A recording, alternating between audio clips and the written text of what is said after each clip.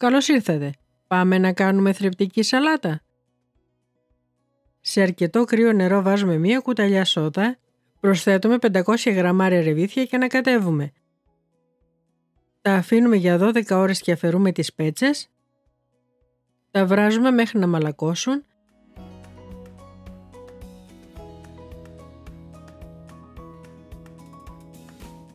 Ψιλοκόβουμε 3-4 κόκκινες ψητές πιπεριές Τα σκεύη και τα υλικά που χρησιμοποίησαμε στη συνταγή μπορείτε να τα βρείτε στο foodaholics.shop. Ψιλοκόβουμε μαϊντανό.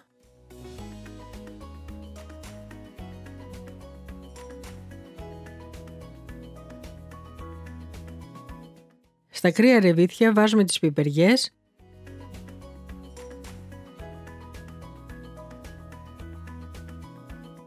το μαϊντανό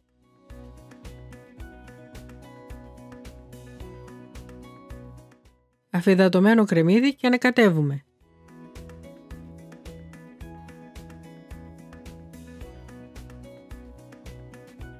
Ρίχνουμε αλάτι,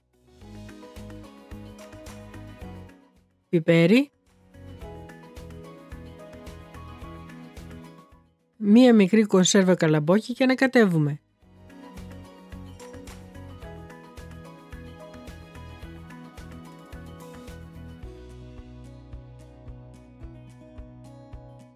Ενσωματώνουμε 100 γραμμάρια βινεγκρέτ κολοκύθας, αφήνουμε στο ψυγείο για 1 με 2 ώρες.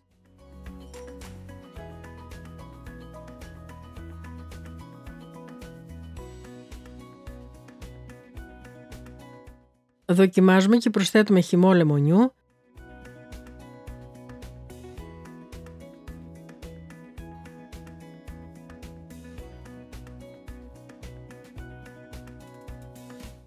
Ανακατεύουμε καλά και σερβίρουμε με λίγο ομό ελαιόλαδο.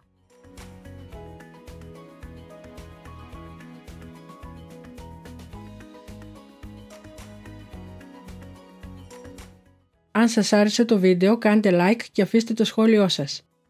Καλή επιτυχία!